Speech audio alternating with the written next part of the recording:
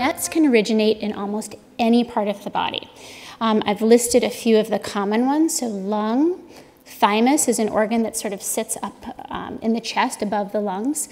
The stomach, pancreas, small intestine. The small intestine is comprised of three parts, the duodenum, the jejunum, and the ileum the appendix, which is attaches kind of right at the junction of the small and the large intestine, and then the colon and the rectum.